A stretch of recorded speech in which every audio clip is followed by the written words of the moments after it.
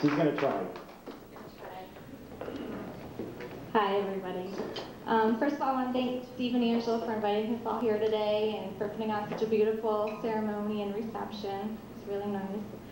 Um, Angela, it was nice growing up with someone like you, someone to lean on, someone to count on, and someone to tell on. You've always been a good friend. We spent a lot of time, you know, obviously growing up and uh, riding bikes all over the place and jumping off the George Bridge and going to the beach and East End Festival and sunny winters snowboarding and sledding and cross-country skiing. Had a lot of fun together. I think I've learned a lot this summer about Steve. Um, I've learned that he's really dedicated to Angela. He cares about her very much, wants to make her happy, and uh, he's also very stubborn.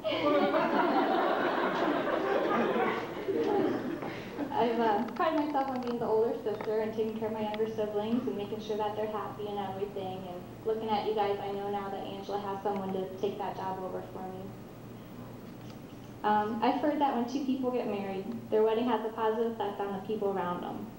Like someone dropping a pebble into still water, your love sends out ripples of happiness to everyone around you. It brings joy to those who have already said I do as they finally remember their day that they had their vows. It brings hope to those who are still looking for that someone special. And it shows young children what they have to look forward to when they grow up. I found a quote that I think kind of suits Steve pretty well. Uh, marriage is when a man and a woman become one. The trouble starts is when they try to decide which one. so, I want to help Angela out with that, with her older sister. So, uh, Steve, I just want to remind you that you know you can always have last two words in, in any argument or anything, and those last two words would be yes, dear. but sincerely, Angela and Steve, I want to congratulate you. And uh, I wish you much success, happiness, and many children. Cheers.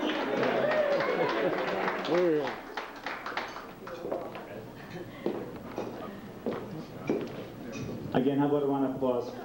Christine, Seth, with those fine speeches.